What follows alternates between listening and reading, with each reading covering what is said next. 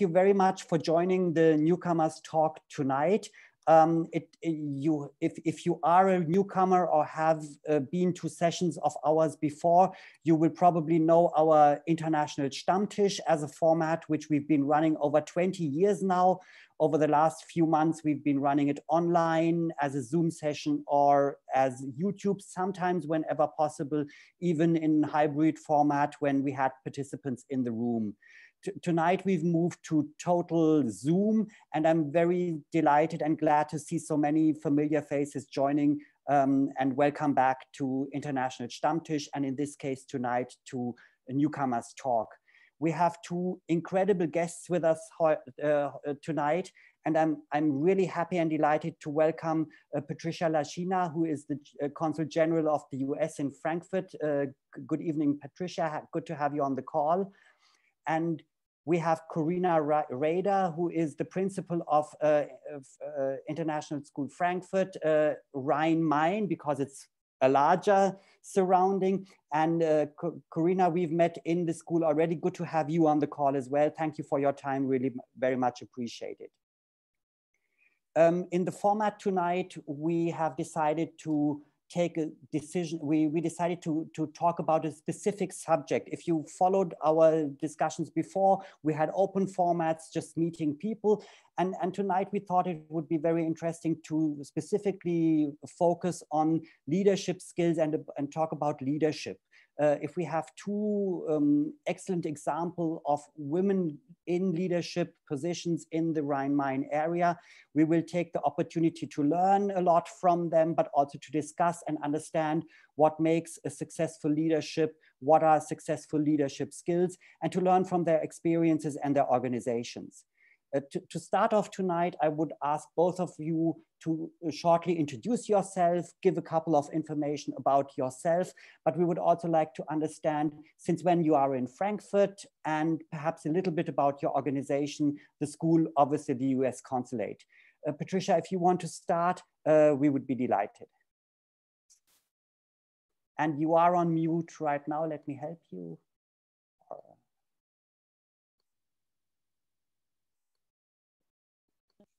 Okay, Is, can you hear me now? Excellent, working now. Okay, so um, thank you for the invitation. I'm really, really happy to be here, Arun.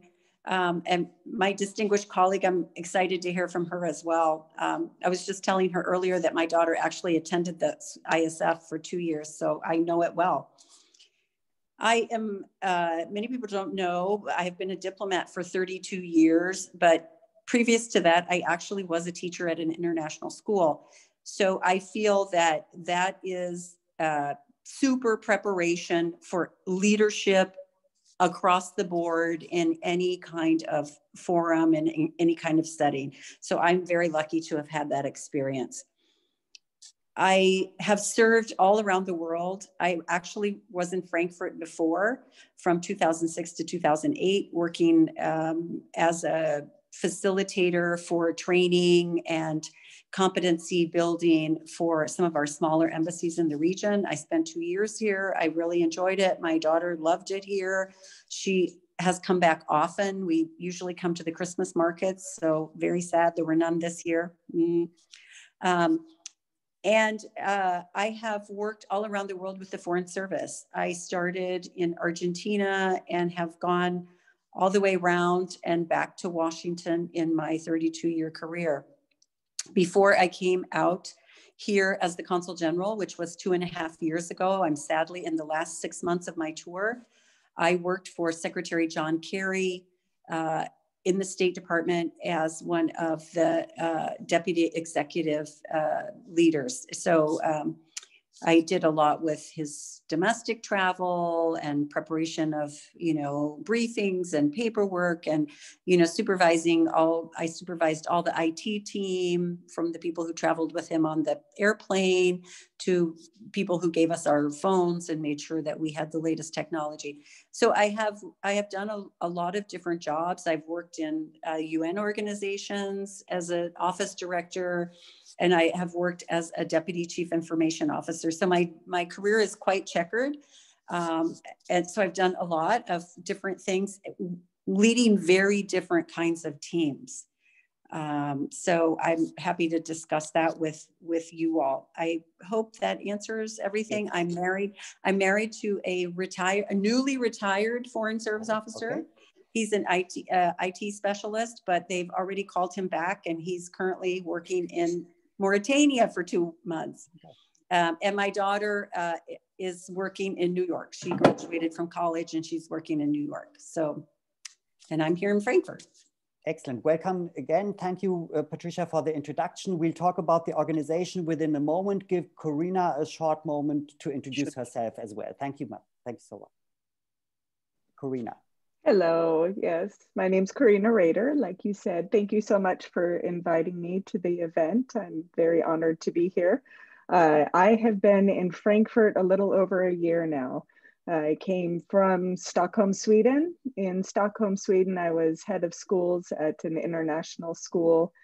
And uh, then we moved to Frankfurt first for my husband's job, but initially looking for schools and uh, for my three children and found ISF and it fit all the needs. I too was looking for a school with the pool and ISF was the only school that had a pool. And I also was looking for a curriculum that was pretty regimented and uh, well aligned with the state standards because I'm a US citizen as well as very internationally uh, fit and minded as well uh, because we're also Swedish citizens. So uh, ISF met both of those needs. And then knowing that we were going to be relocating to Frankfurt, I started to look for jobs, just curiosity looking on their job board and I found that they had a director's position that was open. So I applied and I got the job as a school director. And we actually ended up moving before my husband even signed his contract to move to Frankfurt. So I like to say that we moved here for me. but uh, so now I've been there about a year uh, two months after I started as a director at a very new big school, 750 students and 150 staff, uh, COVID came. And so I quickly uh, had to adapt and I think as we all have, um, learn new ways of doing things. And for school, that meant turning everything online. Um, but I can tell you about that later as we get into the discussion. Uh, so in short, yeah, I've got a husband and I've got three young daughters, one in third grade, fifth grade, and eighth grade. So thank you for having me.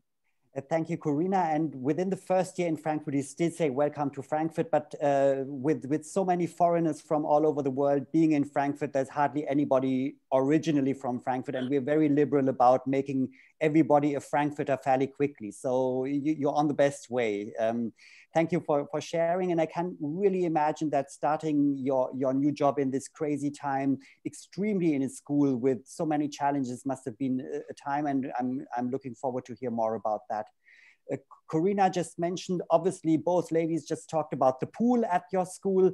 Uh, you just mentioned it, it, it, is, it is a fairly big school with over eight, around 800 pupils, is that correct?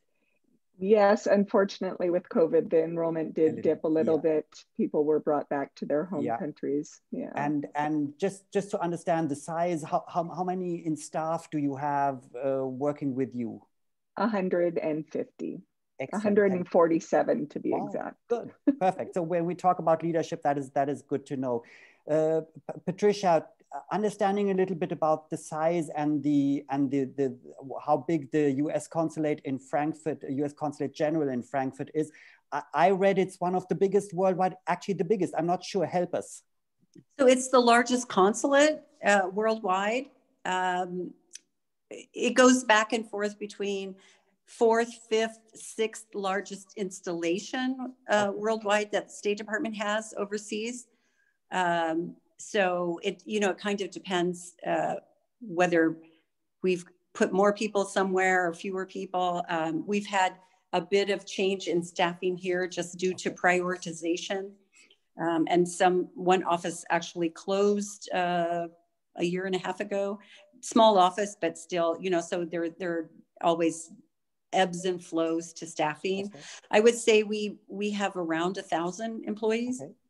Uh, probably 375 in thereabouts that are locally engaged. So we're very unique because um, we have probably between a third and a half of our locally employed uh, staff is actually American.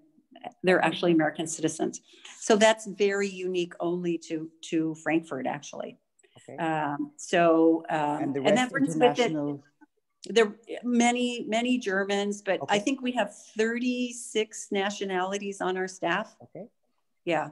Yeah. Either, you know, people who are immigrants, their parents, uh, you know, people who are working here temporarily because they're EU citizens and they can come. You know, one of our latest hires in one of the offices, we got him from Dublin. You know, he's Irish. Okay. So, you know, that is we we are able to. Um, the EU rules definitely have helped us to cast our net much wider when we're looking for specialty positions. Okay. Um, so that that has been a real boon to us.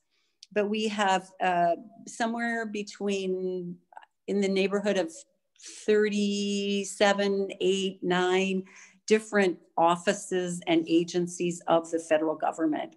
Um, so we have everything from we are the hub for our for our diplomatic couriers who who ensure that the pouches get where they need to go. Um, so we have everybody from them uh, and what they've been doing recently, of course, is ensuring that freezers and vaccines are getting places. So, you know, like their, that, their work is the of the most important. So we have everybody from them to law, the, the whole law enforcement community. We have a presence from the drug, the drug enforcement agency, from the the um, IRS, uh, what is it? Internal Revenue Service. Uh, we have different aspects of Homeland Security. Um, so we have so many different uh, ways that we are here to uh, partner with the Germans and then throughout uh, Europe and then even into the Middle East and Africa and, and Asia. So we have many, many offices that are either regional or global platforms we work, um, I would say, with something in the neighborhood of 130 countries supporting them in some way or another from some office or another. Um, so, you know, it runs the gamut. And sometimes I think to myself, what in heaven's name does that office do here? You know, when I first met our, our former ambassador, Ambassador Grenell, he came here and he said to me, Pat, what do all of those people who work for you do? And I said, Well, I'm still finding out, sir, what, what, what they all do. But it's all really important work. So, uh, you know, it is it is a challenge. Uh, I would say one of the biggest challenges always is ensuring that that there's open communication and coordination you know across the board because people are working on the same issues from a different angle and if they don't mm-hmm communicate and know that you you get into the stovepipe situation which is not good for anyone. So it's it's very challenging. And and i always tell people one of our biggest challenges is that our boss sits in berlin. Okay. And mm-hmm. so you know and we are one of five consulates. Of course we're the biggest consulate here but you know there are four other consulates. And so you know we all have to coordinate with berlin. And so that that in itself is really a challenge especially during covid time when we don't go to berlin and berlin doesn't come here. So um, you know some unique some unique challenges that we've had to address in the last year. Wow in, in, incredibly complex uh, and very fascinating to understand. Um, one of my questions, which I had put down for discussion tonight, was about hierarchy, and I think that that fits fairly well into into what you just mentioned. Um, the, the, the the boss in Berlin is obviously one thing, but then obviously within your organization locally and within the, the, the matrix yeah. of your different areas and so on. H how important is hierarchy for you in your leadership role and how would you, how would you explain that? So anyone who's worked with state, the Department of State is the oldest cabinet agency. So starting with that, the first Secretary of State was Benjamin Franklin. Um, so we are very old and distinguished, and people like to remind you of that. And part of what makes you old and distinguished usually is that you have a lot of hierarchical uh, restrictions. Um, so it's it can be challenging because you also have Washington in the mix. I think we've we've done a pretty good job here of really flattening that out. Um, part of that is it's it, it all comes from the top. You know, um, the former ambassador was not about hierarchy. You know, he would always say to me, "Please call me Rick," and I said, "I'm sorry, Mr. Ambassador. I was raised to call you Mr. Ambassador, and there's no way I'm ever calling you Rick." um, so I, you know, it some of it depends on style, but we're also in a country that the German governmental system, system is also very hierarchical, very. Um, so you know we work within that framework as well. So it we it behooves us to remember who we're guests of and how they work, as well as how we work on our own. So that's an additional challenge, and that's where some of our really talented, amazing local staff comes in and helps keep us on the right track and say, you know, actually, he didn't really mean that when he told you to call him Fred. Don't call him Fred. okay. Have, have, you ever seen have you ever seen the leadership styles and the way that management addresses it? Yeah. Yes. And and I completely understand where you're coming from because as I'm coming from Stockholm, everything is equal. Flat. And mm-hmm. very flat. And you, as a head of school, I would have a child telling me what they think is the right decision, and they would have equal weight as the CEO of a company who's going to tell me what he also thinks is correct. Mm-hmm. but it's all the same. Um, they have a saying called lagom, uh, so it's not too much and not too little. And they put that into absolutely everything they do. Um, so I think it's important as you are moving around to other international posts to understand how hierarchy, how leadership is viewed in each country. Because mm-hmm. then moving to Germany, I too have had to do a little bit of uh, rethinking about what I think about hierarchy mm-hmm. and understanding mm-hmm. that it's okay. They're calling me Miss Rader and that makes them feel better and, and I'll appreciate that. yeah. But it makes a difference to understand, just have that understanding and awareness and empathy of, okay, this is what they think is the correct order mm-hmm. and ways. And this uh, question goes to this person because they are my direct report and it's out yeah. of respect. Yeah. Yeah. It, and it is a challenge. It's a it's a challenge to balance that you know i mean i had the advantage that pe- some people remembered me and had worked with me two years ago. I mean two years ago. I mean my first tour which was you know i left like 12 years ago. Um, but many people had never met me before. And and you know no matter that you think you're just a regular person you're still the cg the director of the school uh, you know a high ranking person to so many people and when you try to say oh just call me pat they're like no no yeah. you know i told one of the one of the security detail that i have I, I you know in the beginning i said please call me pat and one of them just looked at me and said ma'am, that is not happening. and I was like, okay. So, I mean, then you have to figure out yeah. How you, how you become yourself comfortable with that kind of a situation when that's not what you, what you want or mm. intended. So, yeah. Yeah. yeah. And um, like you had said, we're out of respect, we're in their country and, mm-hmm. or whatever country you're in and, and yeah. their way of help me to understand. This is this is this is an interesting discussion for me. I understood from from Patricia that this is very top down. This is directive. Patricia, you would receive directions from Berlin, Washington, and then have to manage a style on communicating that to your staff. Corina, you, you came from Stockholm. Obviously, the Swedish system is very flat. Uh, people call themselves by first name and so on. Is it, is it a cultural thing or is it within your organization? That means, it, are you living in an ISF world or are you living in Germany? I'm trying to understand. you could probably answer that as well, Patricia. Um, I would say international schools in and of themselves are bubbles. Um, I, I, graduated from an international school uh, in Santiago, Chile. And I remember my parents moving me to Chile, I was so excited to learn Spanish and to just engulf myself in the culture. And then you go to an international school and you're in this American bubble. This mm-hmm. was an American school down there.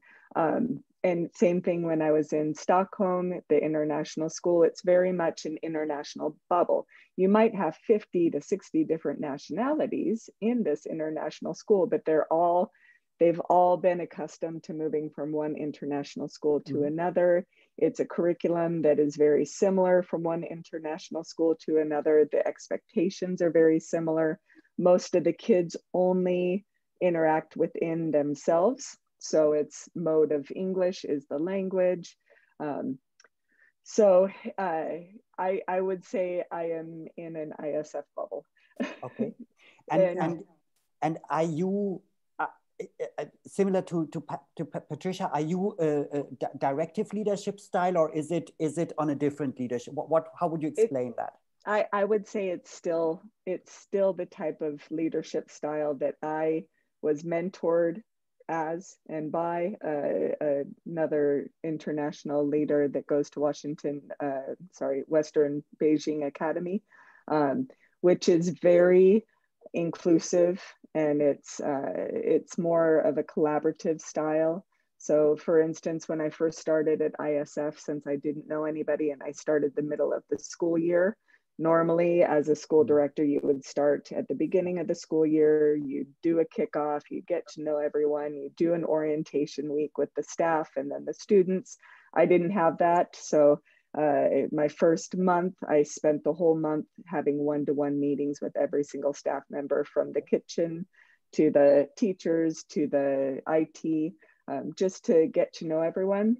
And again, get to listen, hear their needs, uh, listen to their views, their opinions and ideas. Uh, and and I, I, I still definitely have that linear view of leadership. I, I, I think it's important that everyone has a choice and a voice. Uh, somebody has mm-hmm. to have the final say, but uh, I definitely think everyone needs to be heard. Okay, very interesting. Thank you for that. Um, uh, just just one more question to to Corina, more about the, the the stakeholders. I can imagine that it's not only about you being the leader of teachers and uh, staff in your school, but you've also got obviously parents and you've got you've got pupils, uh, students in your school. Um, how, how, do, how do these stakeholders work? How do you work with these different stakeholders? you try to make everyone happy in times of COVID. Good luck. no, but you do your best. I, like I said, I definitely, my style is to listen and to ask a lot of really good questions. Um, I, I, I think it's really important that the parents have a say. And, and again, it comes down to it's good to listen and it's good for them to feel like they're being heard. Um, in the end, there has to be a final decision and there has to be somebody that makes that final decision. But I don't think that a final decision can be made without proper uh, engagement and questioning. Thanks for that. Uh, Patricia, back to your hierarchy and directive style, which, which we've learned about. If, if you have an uncomfortable message or if you have an uncomfortable uh, situation to share with your staff, that means you simply receive, uh, I don't want to say an order, but, but you receive some directive uh, which may be uh, difficult to explain to people around. How, how would that work for you? How do you normally approach that? Well, I, I, mean, there are a lot of things that we do here that Berlin does not direct. I'm talking about like I'm talking about like policy issues, right? Mm-hmm. And a lot of what we do here is we have this enormous support platform, um, which Berlin does not have time to get involved in. Okay. Uh, so we have a, uh, quite a number of uh, leaders, you know, at the middle ranks and even at the higher ranks that that have uh, people reporting up to them. Um, and then I have a deputy who's very senior. So we have a lot of different uh, of layers, uh, but we, it's a very big, busy place. So uh, for example, we have a director of the consular section. So people who want to come and renew a passport, if they need a visa, um, that that is by and large all those rules are made in Washington. How she runs it is, you know, we talk to her about that, but okay. it's because she's so senior, you know that she knows her job and she's done okay. much bigger jobs. So we have that across the board, very, very competent senior leadership in the consulate from other agencies, you know, people who have been at the top of their agencies, you know, they, they are highly respected and trusted by people in Washington. So as far as that goes, I think that the most critical part is always getting everybody going in the same direction. Yeah. you know because everybody has their little interest and their what they perceive as their uh, their overarching goal or you know aim that they're trying to achieve and so to make sure that those are all lashed up with the the administration's priorities is really the challenge right mm-hmm.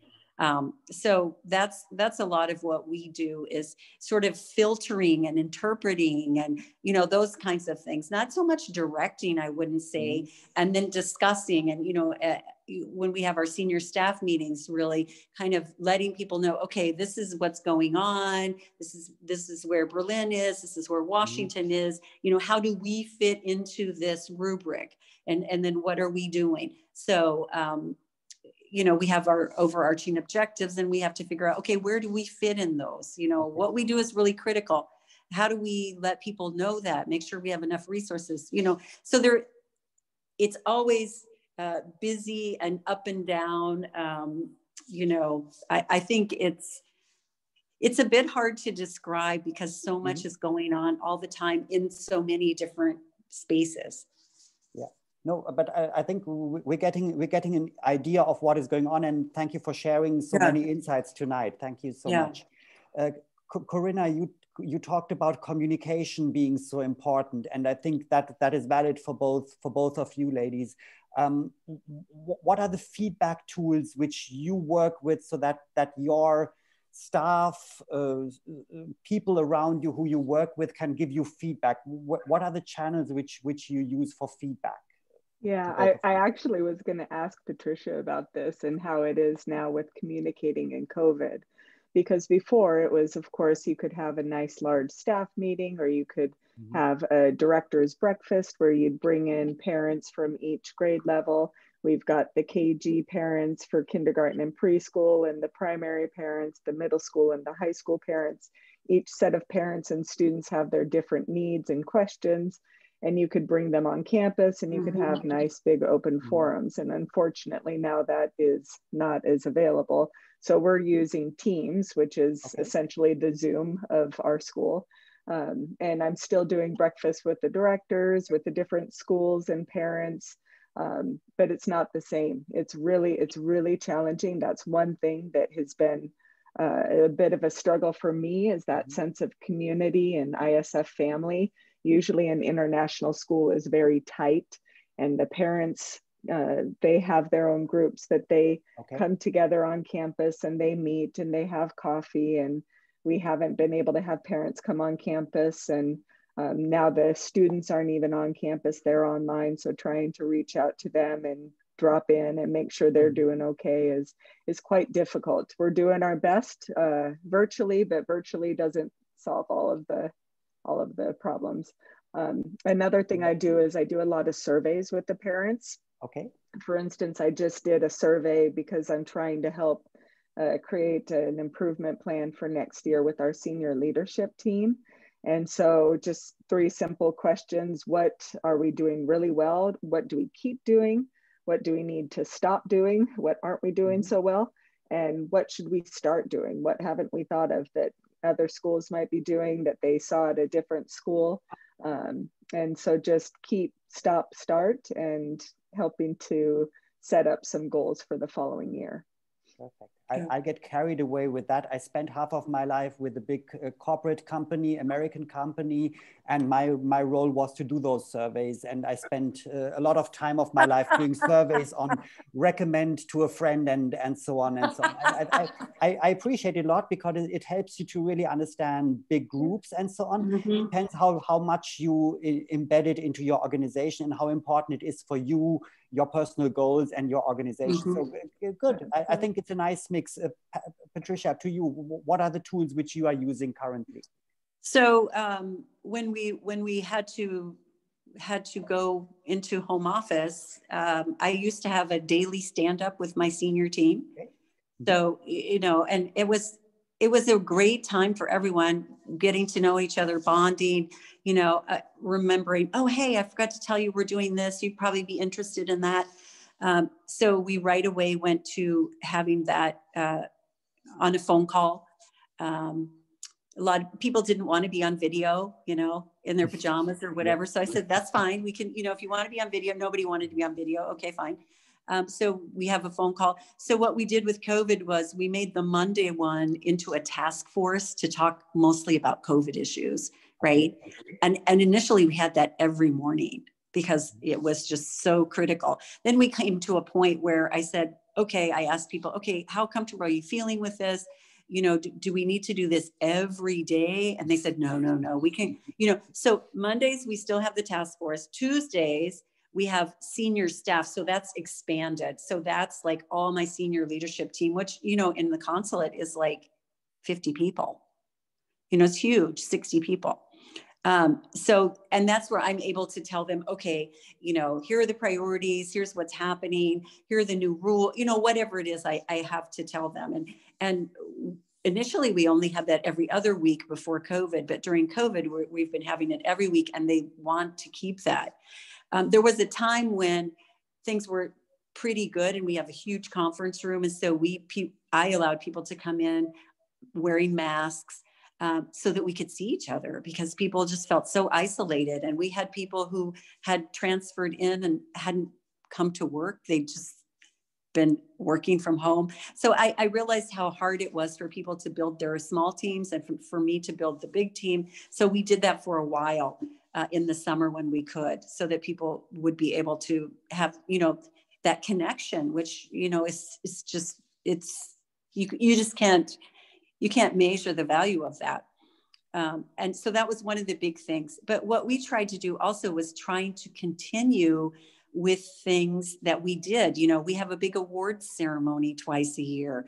Um, and it was always famous for uh, having people come not just to get their awards but we would intersperse between the awards was entertainment you get to see some of your colleagues who are really talented and you don't know about it you know once my deputy invited a you know, invited an, an Elvis impersonator to serenade me, uh, you know, by surprise, you know, things like that. So I said, we're going to continue to do this and we're going to figure out ways we can entertain people remotely. So this year I got a new deputy and he's so funny and talented. And so he did a um, Home Alone spoof and we all participated and we and we videoed it and it, you know, so it was really a lot of fun. So we've tried to do things like that to keep people you know really um, engaged but i can i can feel that you know people have kind of hit the wall and so it's difficult i i sent out a weekly message for a, a while and then i know people were getting tired of it so then i didn't send one for a while. My boss in berlin always sent one. Uh, you know so various things like that to try and keep people um, you know really engaged. And then sometimes I would just call people randomly and say, "How are you doing? I was thinking of you. How's it going?" Or if somebody wrote a good a good uh, analysis of something, I would call them and say, "Hey, that was a really good analysis that you wrote." You know, things like that. Um, I would wander around the consulate in my mask and say, "See who's there." You know, bring cookies from my from my cook. Uh, you know, yeah, it's just just anything to try and keep people connected and and feeling like they're part of the community Perfect. And, and uh, we'll take you by the word and probably for one of our next sessions, invite your deputy to manage one of one, one of those sessions or invite the, the Elvis imitator. This sounds like some, some really good plans. Yeah. Thanks, thanks to both of you for sharing the insights. I think we're, we're understanding a little bit better about your organizations. We're trying yeah. to understand how you lead those organizations. Uh, I would like to move to a second part of our of our session tonight, and that is uh, talking about women in leadership. We mm -hmm. promised that in the title. I know that many of our audience uh, joined because that is an interesting and, and always interesting and challenging uh, subject. Um, uh, I, I, saw when I when I did my research, Pat, Patricia, that that uh, some German newspapers wrote about your very colorful dresses and something you've got some flower styles or something. So the only thing I googled and found out when I looked up was first thing was about your your, your, your dressing style and that you wear very colorful dresses and so on. How, how, how do you react to something like that as, as, a, as a leader in a role which, which has got a position uh, when people start discussing things which are a little bit aside of what you would normally concentrate on and what would your normal role be? I, I completely ignore them, I have to say. I, I just, I completely ignore them. Um, I do feel that one of the most important things about leadership, it doesn't matter if you're a woman or a man, it doesn't matter. You have to know who you are and what you're mm-hmm. comfortable with, and you have to be true to yourself. Because when you're not yourself, people really know that you're not. And and so I just that's who I am. So, you know, I wear what I want. I I pretty much say what I want, although, you know, Thomas will tell you sometimes they're like, whoa, I can't believe she just said that. Um, and, you know, that's, I think it's important for people to feel that you're comfortable with yourself and that this is who you really are and that you you are being honest with them about not just who you are but what you're saying you know like what you believe. I spend a lot of time in schools with especially you know seniors high school kids universities. They they will tell you right away when you're full of of baloney. And so you if you want to be credible you have to really figure out who you are and what you're comfortable with and what you believe. And then and then you have to go from there. So i think that if you don't do that, you're going to struggle a lot more um, in, in, in the situation. But advice to people other than that, you know, you have to, you have to kind of, uh,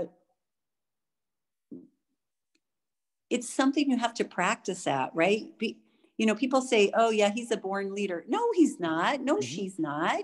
You know, you you have to figure it out. You make mistakes. Sometimes you have to apologize to people and say oh i made such a bad decision and i'm so sorry. I should have followed what what you thought was better or you know whatever the situation is. Um, and i think the more comfortable the more comfortable you feel with yourself then you feel comfortable also you know being a bit humble when you make a bad decision or you know you don't support someone maybe that in the way you could have in in something they were doing yeah thanks i, I think it, it, it, it comes to being authentic to being yourself if i understand mm -hmm. that right and that that yeah. would be a strong leadership skill uh, yeah. from, from your perspective is that is yeah. that correct excellent yes. Uh, Corina, have you been um, uh, facing these these typical stereotype discussions in your career? Have you have you had had those situations?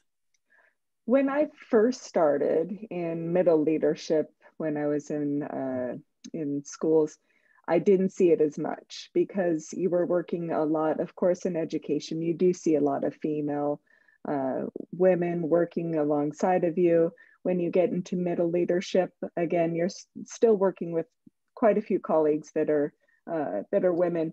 It's once you get into uh, senior leadership, the director level, you don't see as many women in leadership. I think they just did a survey with international schools around the globe, and 20 to 30% of the directors or heads of schools are women. So it, it definitely narrows out. I noticed a difference when I first went into being head of schools in Stockholm. You, at first, I felt like I had to act like one of the good old boys um, and and that's fine. I I I love hanging out with guys. I've always loved. I was on a swim team. My best friends were always men and women. It didn't matter. I I really didn't see uh, gender or anything else. Um, but then as you as you kind of get into your own skin, like you had said, Patricia, you start to um, get a little more experience and you start to fine and hone your leadership style. And I think that's what I had to discover instead of copying what everyone else around me was doing, what all the other directors that I saw um, doing. I found my own leadership style. And for me, that's absolute honesty and humility. And, and like you had said, when, when you make a mistake, you own up to it. And um, I, I'm sure I've heard someone famous say this, but if you're going to fail, fail fast and fail forward and pick yourself up and get going, learn from your mistakes and, and move on. Um, I've been quite candid with my staff here at mm-hmm. ISF, especially with the COVID crisis. You're trying a whole bunch of new things mm-hmm. that have never been tried before. Um, I, I wrote a very honest and open letter to the staff about two months in. And I just said, look, guys, I'm sorry, this isn't what I signed up for. Um, we're going to try a few different ways to open the school or reopen the school.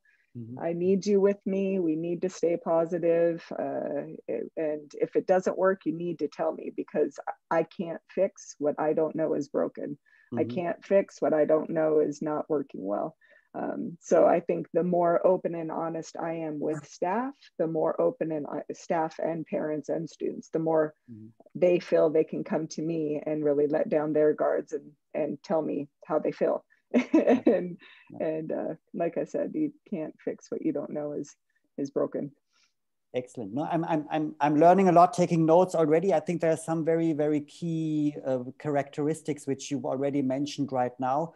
Um, in in my first approach when we when we started about the discussion about women in leadership positions i had something like what is a typical women leadership style or something? But more general can we understand for, for, for independent of, of, of gender uh, what are styles and what is what is a what is a characteristic of a good leader in, in from your from your perspective your perspective perspective? So uh, I think there are so many characteristics for a good leader. Uh, you know, I, I, have worked with many good leaders, some great leaders, um, and they're all different. They're all different.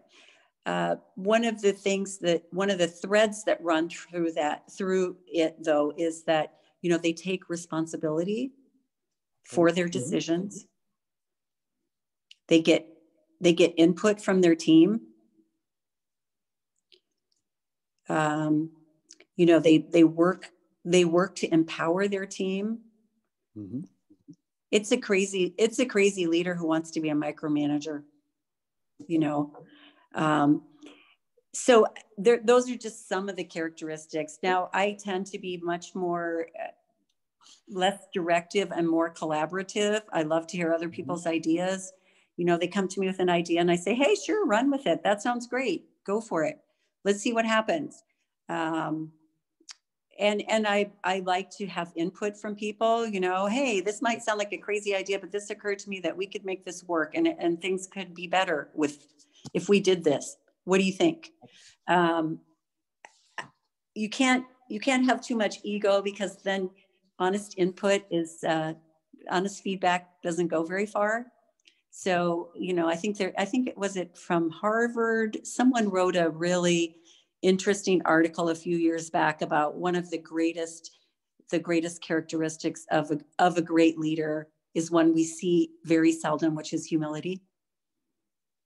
So, and, and, um, I heard the word from Corina before, so I think that, that there seems to be a common agreement that, that yeah. those are some really important yeah. characteristics. Yeah. Uh, again, I've been taking notes, I've been taking keywords, incredible, incredible things I've heard. Corina, anything to add? I think Patricia said a lot, but anything, anything which comes to your mind? I would agree with Patricia, and, and the thing that the the quote that comes out is the Steve Jobs quote about it doesn't make sense to hire smart people and then tell them what to do. We uh, hire oh, smart oh, right. people so they tell us what to do. yeah. Uh-huh. yeah. yeah, which is true. If you hire well, then it makes your life so much easier. yeah. Uh, so getting um, the right and, team together. Yeah.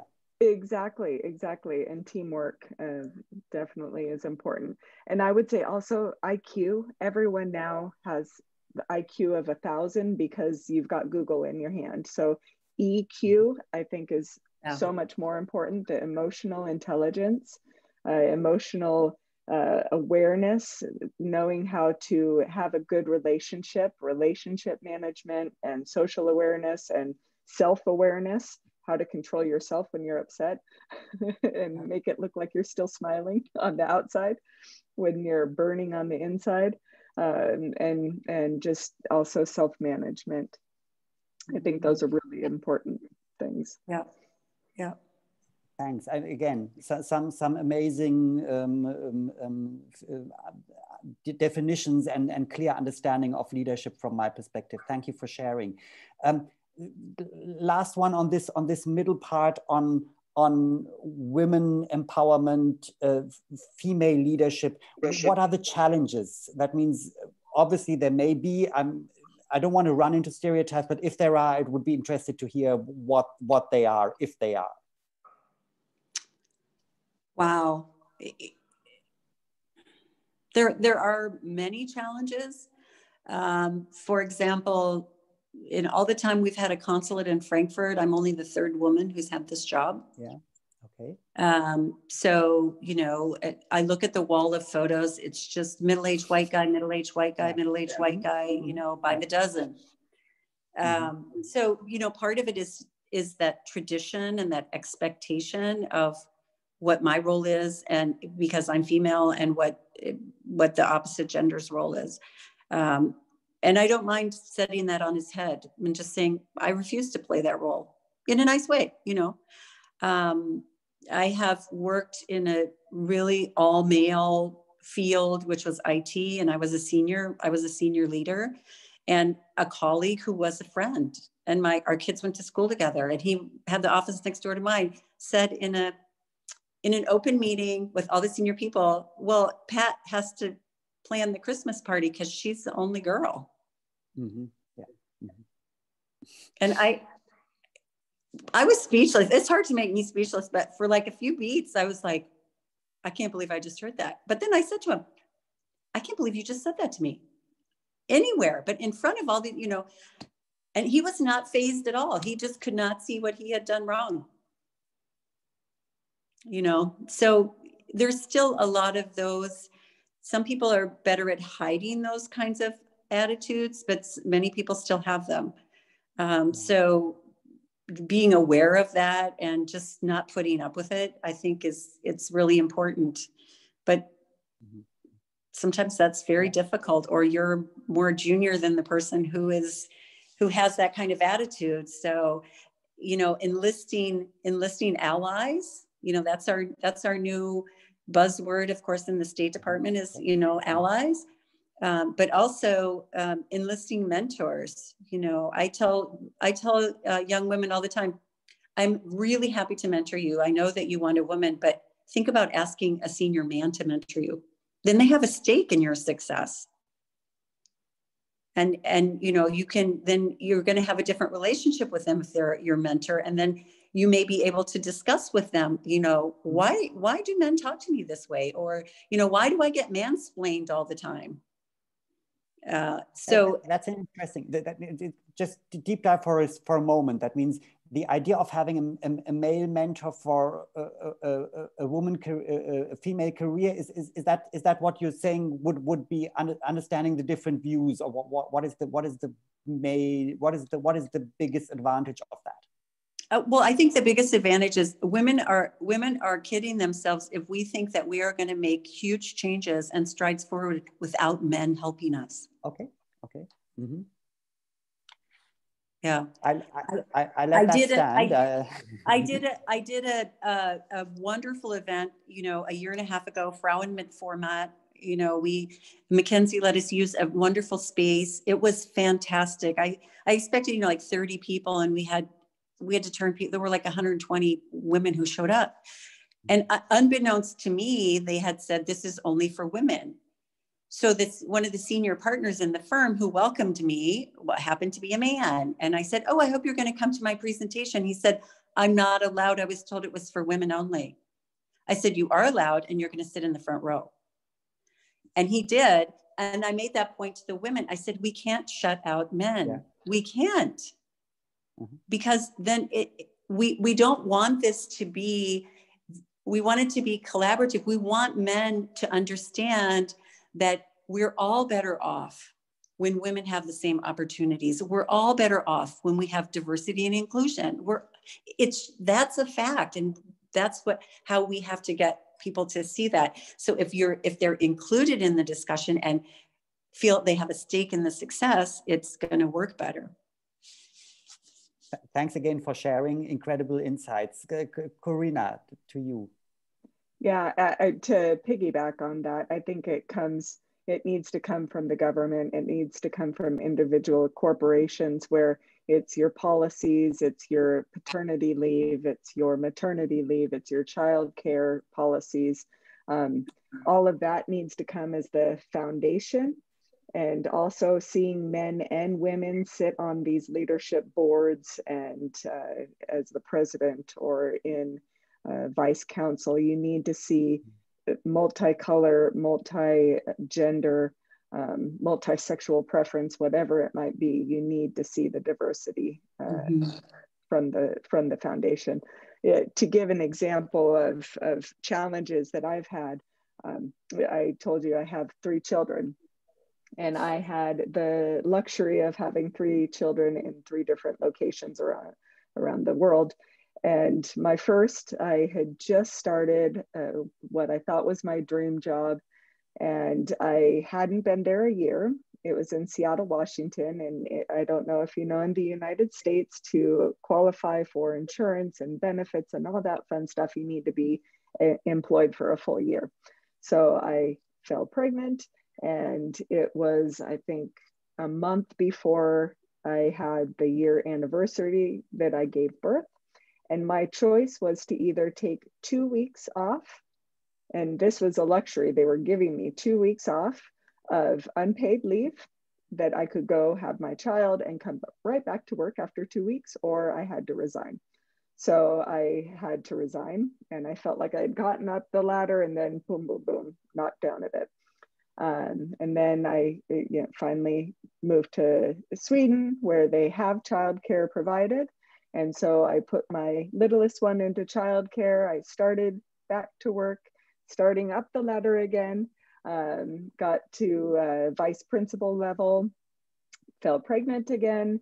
And luckily in Sweden, they have 18 months of maternity paternity leave and they mandate that the husband or the the partner has to take a portion of that.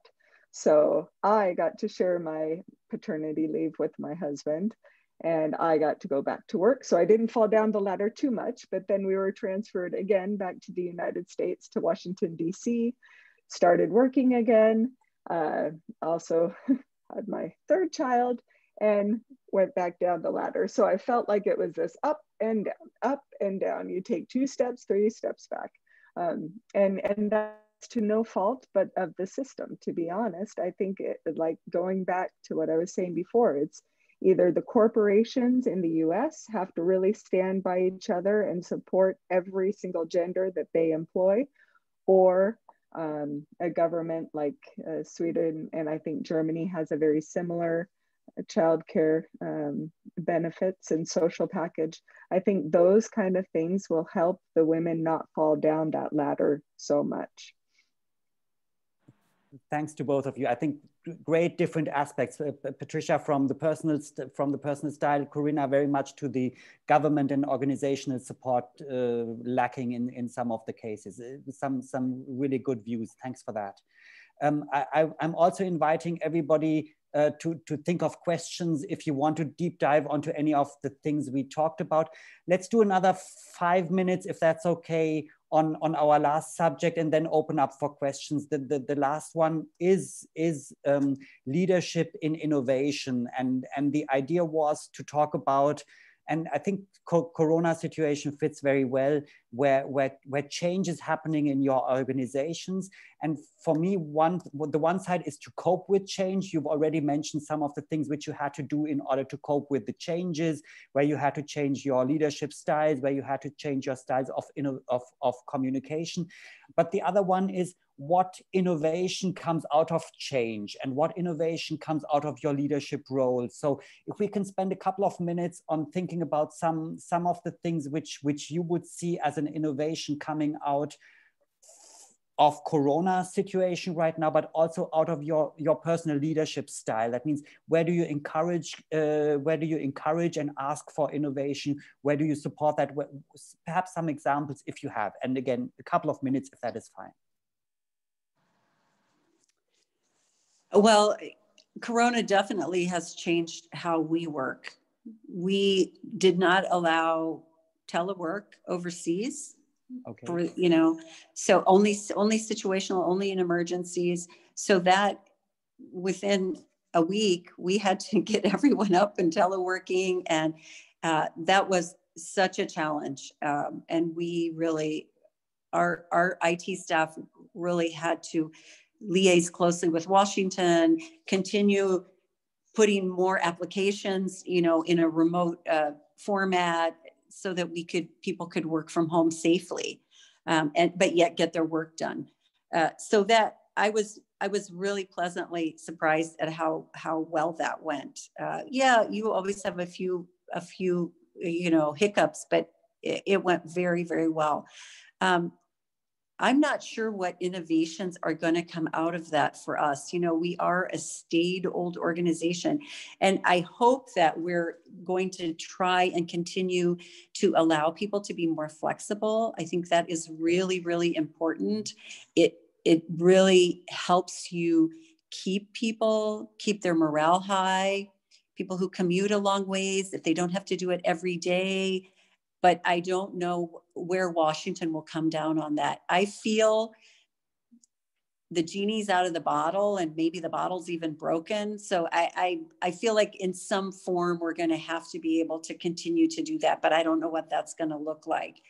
You know, as far as other uh, innovations, we have really had to use technology here because, you know, this is a regional hub and people, that's what they do is travel they go and you know they do inspections they they they go and help. Our our training team has gone 100% remote you know flipping courses to all online.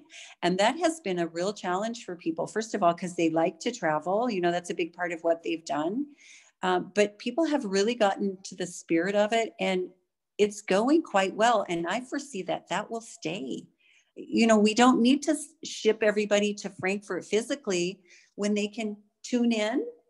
And, you know, maybe there are a few seminars, things that you might want to do in person, but you certainly can train many, many people in a remote format. And so I feel like we're we're also going to be able to up our game as far as the number of people we train and the number of courses we can offer in a year, uh, you know, all kinds of things like that. So I feel like that is really a good outcome. Um, you know, it's and and the, yeah, yeah, yeah. The other thing that we are looking at, um, and I've been looking at it strategically for the last year, two years now, is looking at the presence in Frankfurt and, you know, who is here? Do they all need to be here? And re-looking at that given home office, the ability to work remotely. Um, so that that the outcome of that is still unclear, but we've been able to eliminate several positions and thus save money you know, that we we've just get discovered we didn't need anymore. So that that's been a big one as well. Okay, good. Some things coming out, obviously. Perfect. Uh, Corina, from from a school, I mean, the, the German schools, you you probably following what's going on in, in German public schools, yeah. moving from uh, part uh, uh, splitting classes into half, uh, struggling with technology and so on. Um, I've been watching ISF. Uh, I had the chance to see the campus uh, do an open house when you, when you were, I think, the, the third day in or something. That that, that was an amazing yeah. experience to see how technology and everything is. What are the innovations coming out for, for, for you from a school perspective? I mean, yeah, uh, I mean, luckily, SABIS uh, is we're part of the SABIS network, and they're very digitally minded. They were before COVID. Um, it's almost like they were preparing for COVID. I hate to say that, but they uh, have all of the lessons already prepared and paced for the teachers, and they put them on these inter interactive whiteboard slides. Um, so they're like PowerPoints, but they're a little more interactive. Um, and so we were able to take those and implement them onto our Teams platform. So that was something that I had to scramble and learn uh, German GDPR laws and data protection laws quite quickly. But within a couple of months, we had all the students with Teams accounts and all the staff with Teams accounts, and we collapsed the day and did a professional development training day on okay, these are the bare necessity non negotiables that everyone has to be doing to teach via Teams online. So the staff had their little rubric of okay, I need to make sure that I'm still following these procedures to be able to teach to the students online. And it, it was amazing. I mean, our, our staff, it was so, um, it, it was inspiring to see how quickly they were able to adapt from the on-campus teaching to the online setting. The students, of course, they loved it because they could sit in their pajamas and in their bed and have their breakfast while they're having their homeroom and first period of class. Uh, so things that we want to keep, I think we'll probably have to keep the online learning for a little bit. There's still talks about, you know, every year you might still have this wave where it peaks, uh, virus peaks, and we need to close schools or even snow days. We can still use the online learning if it's too dangerous to drive into school or if the trains aren't working. Um, it also, we've got so many international students that they want to spend an extra week in their home country after Christmas break. So then they could continue the online classes, having them streamed uh, as the teacher is teaching the students in the classroom, they can have the class streamed to them at home. So things like that, we, uh, I think we're definitely taking advantage of, of the different uh, uh crisis, uh, you know, the innovations that come with the crisis. Uh, I think the parents are really appreciating our parent teacher mm-hmm. conferences that we have online because they can still attend while they're at the office. The breakfast with the directors, they don't have to travel all the way in or take the day off for work. They can pop in, have a cup of coffee, and ask me any questions they might have on a Friday morning. So, yeah, Fasching party that we just had today, and we streamed live to the parents at home. even with an atmosphere then. Good I, I, I, can hear some innovation coming coming out of that Corina. Obviously you started at a very very good point already. That means uh, this, the school already was very well equipped with with technology and so on. But it looks like there's been some major uh, developments out of the last months and out of the period right now right? Yeah yes. Excellent. Um, it, to, to our audience, I, I would really like to invite you to ask questions. We did discuss three major fields today. Um, I, have been following a little bit in the chat. I'm not not sure whether I missed any questions so far. We did talk just for your just as a reminder. We did talk about both of the big organizations which uh, Corina and Pat are leading. We understood more about how they are organized, how, how big they are, the, the, the form of the organization. We did talk about leadership styles. I personally took many notes, took some really, really good keynote, key, key words, which I think are really inspiring between uh, authenticity, honesty, feedback, uh, ca candid and openness, uh, empower people to, to make decisions, uh, talking about emotional leadership. So I think many, many inspirations there, but perhaps uh, many questions as well. We did talk a little bit about uh, some of the challenges women in leadership positions may, may face and we, we had the chance to speak about innovation right now. So if you if you have any questions about the, the fields we have or anything else on your mind, please feel free to please just raise your hand. We've got around still 60 people in the room just to manage this a little bit. And Thomas, help me if there's anything unclear or if anybody is waving and I can't see that. Uh, we have one hand up, Matilda Wunderlich. Now, Matilda, would you like, perfect. Why, why don't you just start off then? Yeah. Matilda. Matilda?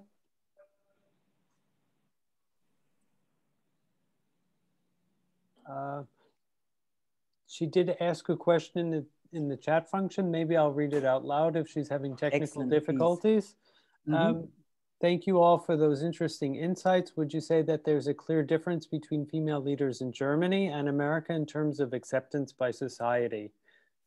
Um, that was excellent question. Yeah. That, that is a really good question. Um, well, I mean, this is a country that's had a female chancellor for how long? 12 years, 16 years? Uh, forever. Right? Forever. so, I mean, that's sort of the epitome of female leadership. Um, well, now we've got a female vice president. Um, you know, I don't, I, I don't think I know enough about uh, leader, female leadership in Germany to really be able to to address that. I think it much depends on the industry you work in, uh, you know, your history. There, there are just so many factors about whether you accept uh, female leadership versus male leadership that that I I don't think I'm really qualified to to comment on that. Corina, anything from your perspective? I, I would probably say the same. The, the difference I saw and, and I witnessed in my own family is the support on the back end. So uh, in, in the US, my husband was raised um, in the US, and it was very much mom was a stay at home mom, and dad was the one that worked. Same in my family, dad was the one that worked, mom was the stay at home. So that was just something that when we first met and we got married, it, we just fell into our gender roles. Um, then we moved to Sweden and there are no gender roles. You will see more men at the playgrounds than you will females, women. You will see more men pushing the prams or the buggies than you will the, the females. Uh, and so my husband, I got him to quickly adapt to the new way in Sweden. and and I can say that support was it was like weights lifted off of my shoulders and I felt like I could really rise uh, because he had helped. So I, I think yeah. that was where I found the difference. Yeah. So, Mat Mat Matilda, it looks like that that both Germany and uh, the US can learn from Sweden still. So perhaps yeah. that to your question. Yeah. I think one of the challenges for women here that I see and the women that I talk to is that there's still much here that's very traditional about the expectation once mm. women have children about what they will do. And any society that sends kids home to eat lunch at home expects that the mom is going to be there. And so, as long as that's the case here, I feel like women are really hmm. set back um, mm-hmm. And I know I've in talking to many women, they say how hard it is to come back into the job market if you took time off. Yeah, it's great. You get time off, you're paid and everything, but you really pay for that professionally when you try to re-enter the job market unless you have, you know, some special help or something like that. So I think there are certain mm-hmm. challenges here that that um, I didn't face when when I had a child. I, yeah, I didn't get a lot of maternity leave, but you know, I my daughter went to all day school, and you know, so I think there there are always things that that we don't look at, and we can we mm-hmm. could as a society say, you know, how could we better support not just women, you know, but parents, you know, writ large, families, um, the whole family. Yeah. Mm-hmm. Good, good, good observation. Thank you for, for sharing. Uh, I'm probably blind for that, but it's so obvious and so clear. Corina, I'm sure you, uh, ISF provides lunch, right? I, I've seen the canteen. We actually, the, our enrollment has picked up in the KG and the preschool by German parents because we offer from 8.20 yeah. to 6 o'clock, yeah. we have school for the kids and and mm-hmm. snacks and lunch and mm-hmm. um, a, a, nice warm place for them to play. What, what what a what a difference a lunch makes here. Yeah, thanks. good good observation. Honestly, yeah. Um, uh, Thomas, I can see Sandrine asking yeah. a, a question in the we chat. Have, I think and, there's and that, two questions that are related yeah. to each other. Role models. I'll use the word role models as a um, as they say in German, the Stichwort, uh, the buzzword. Uh, do you see yourselves as role models uh, for young females? Is one side of the coin, and on the other side of the coin, do you have a particular role model that you look up to? And that that question is addressed to both you, uh, Corina, and and uh, Pat. I'm going to let Corina go first. Okay, thank you. Um, I I would love to think that I'm a role model to the students and the staff.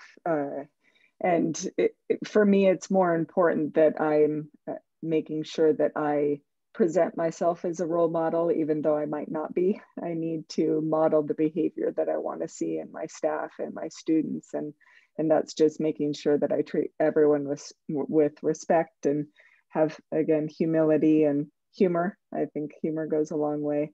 Um, I would say my role models, I've had a mentor that uh, has has been my mentor since I was at Stockholm International School and she's been deeply impactful whenever I'm having a hard time or if I'm interviewing or just going through these COVID uh, different situations of how to operate a school and ideas and bouncing ideas off of someone else. It's been great to have a, another role model to go to.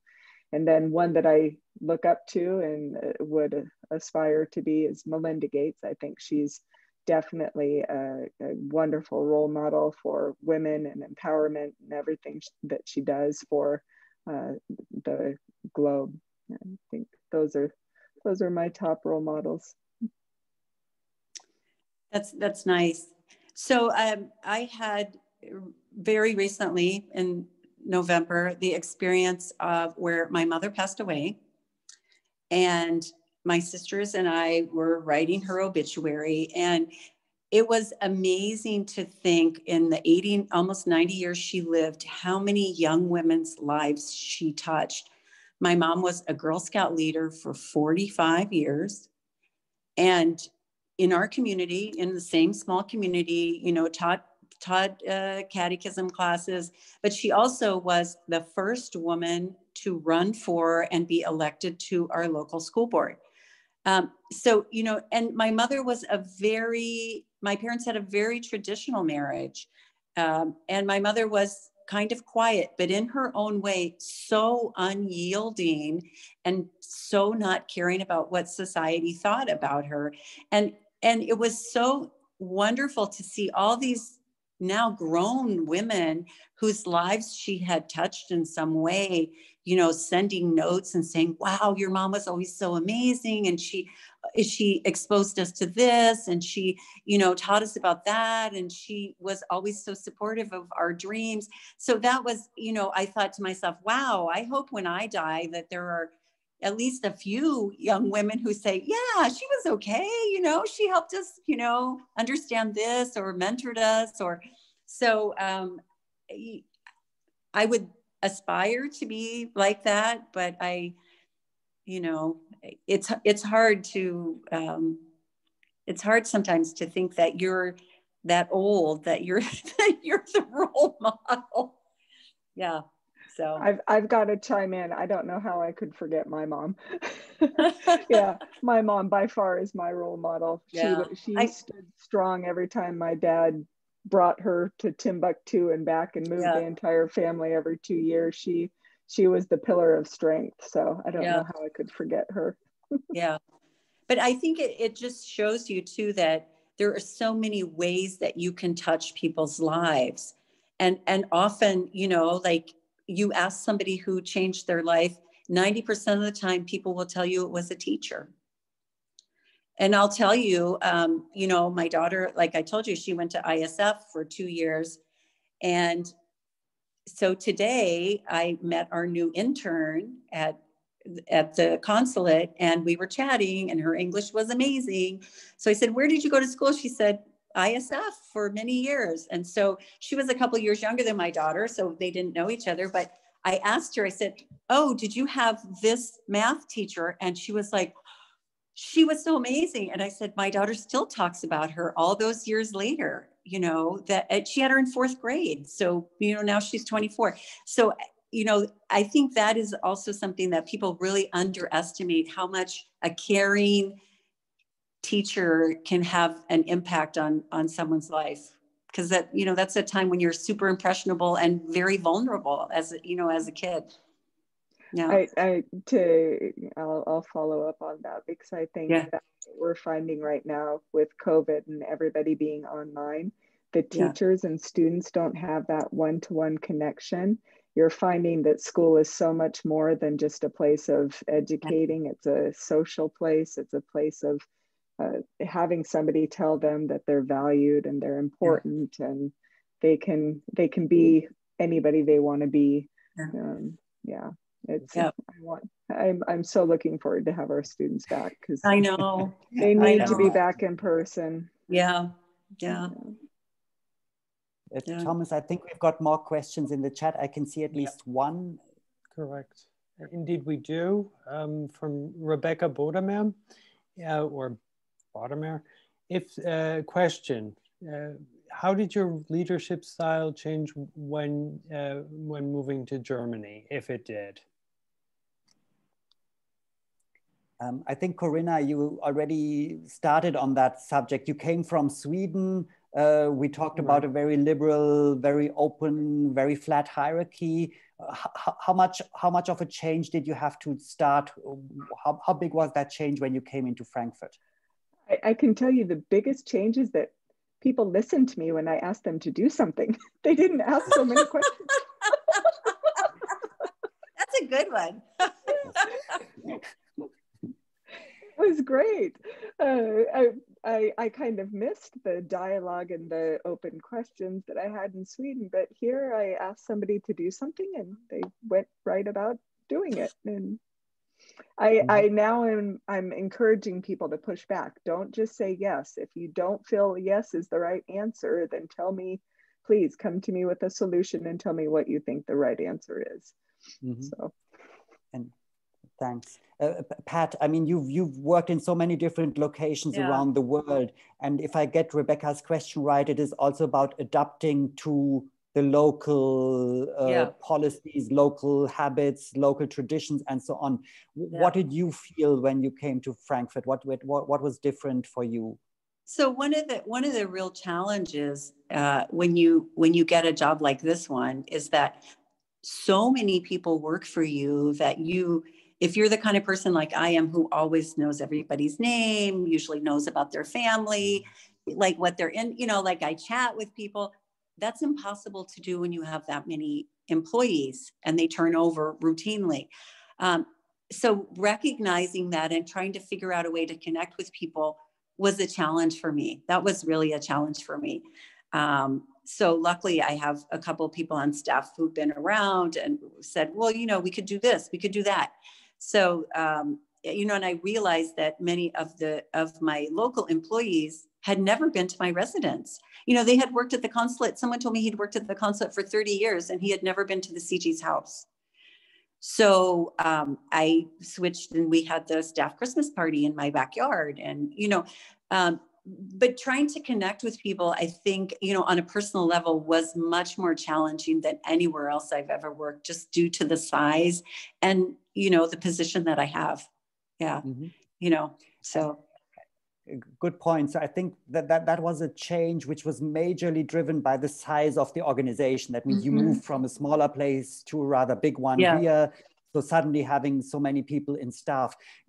Just just i want to deep dive on that on that german thing. That means anything yeah. which comes to your mind and don't don't worry about stereotypes. Yeah. I, I, am german. We've got many germans here. We can stand it probably. What what what what what were observations you had in the style of leadership in in germany? What was different? Or probably you have a, a lot of people in your in your team who are germans as well. So yeah. Yeah. any, any observations to that um, I would say uh, very competent. People are very competent. Um, like one of the things I think that that sometimes when you're trying to be innovative, they are comfortable in their groove. And mm-hmm. when you're like, but I want you to go this way, they're like, no, no, I'm comfortable going this way. So I mm-hmm. think that that's one of the things that I have railed about the most. You know, I've said, ah, you know, why won't Franz change how he does X or Y? You know, um, well, mm. because that's how Franz likes to do it. Uh, but but I think that that can be true of many cultures and people but but I, I have seen that a, a bit here you know and then kind of a reluctance to like really fight the fight and say you know we really need to change how we're doing this um, so yeah yeah sounds good Corina any observations from your side um, I I too noticed that, but I wasn't sure if it was because of the longevity at the school and they were just really fixed on their mindset and uh, hadn't quite incorporated the growth mindset yet. Mm-hmm. But I, I do I do notice that um, we've got uh, quite a large staff of, of Germans, and they they do like their things and their ways in a particular um, schedule and a particular setting and a particular place. Um, and I was worried about them going online and teaching online because that's such a disruption to your schedule and to what you are used to doing.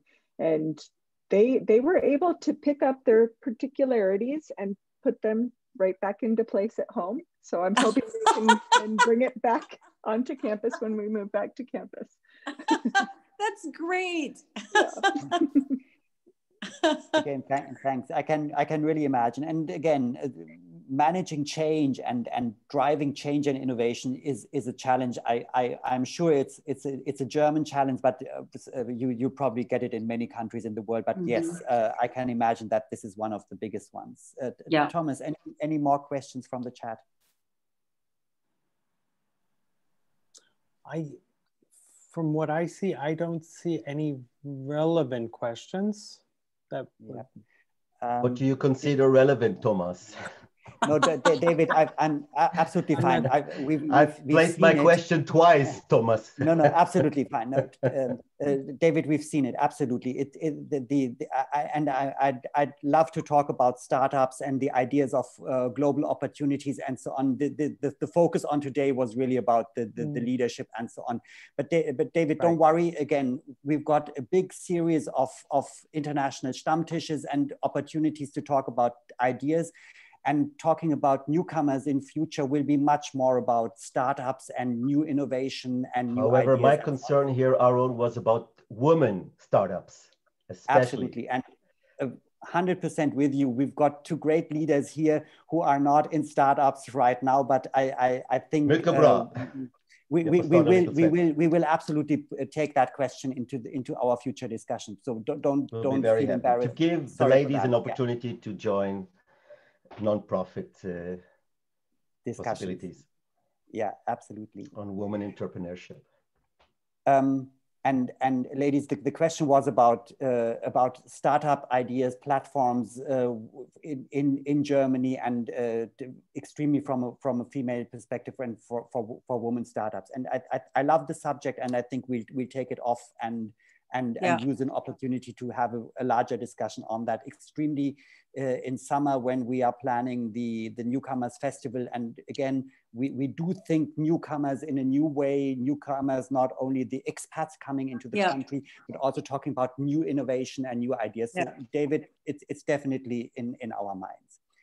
Um, it, it is just shortly before the half hour we had planned for one and a half hours. So, so let me at least take the opportunity to really thank both of you for, for joining tonight. It has been an incredible discussion and I don't know how, how the audience feels. I feel extremely comfortable, relaxed. It's been, it's been an, an incredible, insightful and a wonderful conversation. I, I, I wished we could go on forever and I could probably come up with more ideas and so on. Thank you so much, both of you, for joining. Patricia, a, a pleasure and an honor to have had you in, in unfortunately, one of the last sessions. Uh, you, are leaving in, in, in, in, half a year's time. Yeah. Uh, we, we, we met too late, obviously, during your, during your, yeah. your service here in Frankfurt. A, a pleasure to have you on, on, on our session so tonight incredible insights and thank you for joining. Corina, mm -hmm. it, has been a pleasure to see you again. As I said, I, I saw you like three days into your new role in a total in a total new surrounding and it's incredible to see how how you have how, how you have moved in how you are becoming a frankfurter in in in in germany and i'm i'm looking forward to many more discussions and and interactions uh, hopefully to see you again on one of our future stammtisch or or forums like this mm -hmm. um, Thank, Thank you, you so much for having me. And it was so nice to virtually meet everyone. I exactly. look forward to meeting hopefully in person. I know. I look forward to having coffee future. with having coffee with you all someday. and and again, new, newcomers newcomers Stammtisch will give opportunities. Uh, we are all facing the challenges of of the current situation. We're doing the best out of it. So for our next international Stammtisch coming up on 1st of March, normally we meet every first Monday of the month. Uh, we are taking the opportunity to do the best out of the situation. We are, we are moving to one of our partner cities. Uh, Frankfurt has a huge amount of partner cities in, in international. Most of the partner cities are similar in size. So for example, the US partner city is Philadelphia. Philadelphia. We, did, mm-hmm. we did have an incredible session with, uh, with the Department of Commerce in Philadelphia. And I think with COVID, the one big big advantage is we can, by moving virtually, we, we have the chance to meet some of our partner cities. And I think most of you will be very astonished to hear that Frankfurt has a, has a partner city, which is called Granada in Nicaragua, which is mm-hmm. tiny compared to uh, tiny compared to Frankfurt, but we have a very close relationship. And we've invited one of the major project drivers of that partnership to our next session. So we'll have an online discussion with uh, our partner in in, in uh, Granada, Granada in Nicaragua. So that is one of the upcoming activities. We are very optimistic that, and let's see, we'll always try our best. Uh, for mid of March, we are inviting you on a boat trip to on, on, on one of the ships uh, on the River Main. So uh, the Primus line will invite you to, to have a look at their fleet. Um, hopefully we can meet in person. There will be hygiene standards, anything of course. So once things open up, we will move back to, uh, back to regular meetings in person. And please follow our schedule. You can, you can uh, join our newsletter. You can follow us on social media, or if you have joined today by Eventbrite invite, uh, you will receive future uh, invitations for other, for other um, of our events. So please feel free to come and join us again. It's been an amazing session. We had up over, over 70 something uh, participants joining in today. Thank you for many interesting questions. And thank you, Thomas, for organizing and helping us and providing us with the, with the technology tonight. Uh, a wonderful session. Thank you to both of the ladies. It was a pleasure to have you. Thank you. Thank you. Thank you for your, thank you for your great facilitation. Thank you. Thank, you very much. You. Have a good evening. Danke you schön too. and good night. Danke schön. Okay. Bye-bye. Bye-bye. Bye. Bye-bye. Dankeschön. Auf Wiedersehen. Carlos, thank you. Nadine. Sandrine, good to have you. Laura, thank you for joining. Many familiar faces. Thank you for coming.